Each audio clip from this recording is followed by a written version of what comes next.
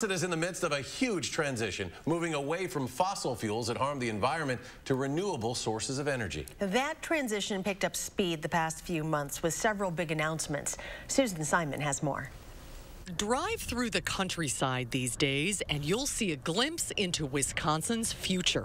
Renewable energy, led by solar power, is fueling the transition to carbon free. The timing's right uh, for this volume of solar to come onto the system. For decades, solar was so expensive, few could afford it. But that is changing at a rapid pace. Uh, solar is seeing significant decreases in costs uh, to install the facilities. And uh, we're also seeing significant gains in performance of the solar facilities. On Earth Day, Madison based Alliant Energy received unanimous approval from the Public Service Commission to build six new solar farms across the state. These are very much economic catalysts uh, for these communities. Uh, these are lease payments to landowners that provide a complementary revenue stream uh, to their broader business.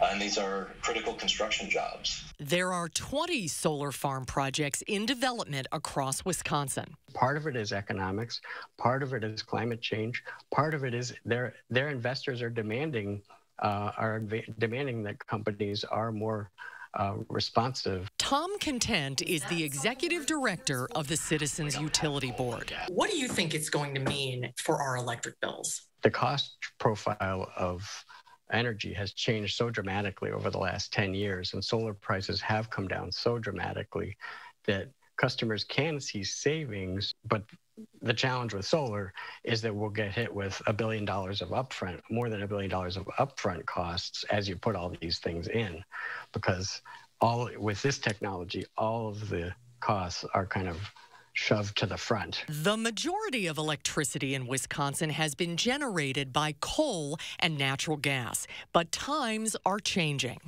the retirement of Columbia uh, for all of us feels like the end of an era. In February, Alliant announced the second largest coal plant in the state, the Columbia Energy Center in Portage, will shut down in four years. Our employees who've, uh, you know, they spent their lives uh, making sure these plants were safe and reliable and and low cost to operate. Uh, now we're going to be working with them to find uh, another skill set. For nearly 50 years, Columbia has powered half a million Wisconsin homes. Will solar and wind be able to produce enough reliable energy to replace what will be lost by closing the plant? So, we have a lot of experience operating large volumes of renewable. Uh, we've been doing that uh, in Iowa, which the majority of the energy to support Iowa customers comes from renewable energy. Storage of the energy produced by sun and wind remains the biggest challenge. A technology race is on to find a cost effective solution, and Alliant has a diverse backup plan. Uh, we just started operating our advanced uh, performing natural gas facility last year uh, down in Beloit, and that offers a very strong complement to ensuring that uh, we're able to provide cost affordable energy. When the wind's not blowing and the sun's not shining now, we can have these very efficient, very responsive, uh, low-cost natural gas units uh, pick up that load and uh, and really ensure reliability for our customers. There is so much societal, economic, and even political pressure to move fast with this. I think the challenge really is trying to manage what is a really rapid transition. Investors want it. The public generally supports that. Um, but the challenge is just managing this transition and doing it in a way that we don't break the bank on the way to making make uh, to creating the, this cleaner future.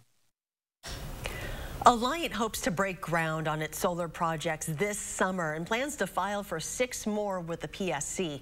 Alliant says it will work with the 110 employees affected by the closure of Columbia to find jobs within the company or train for new careers.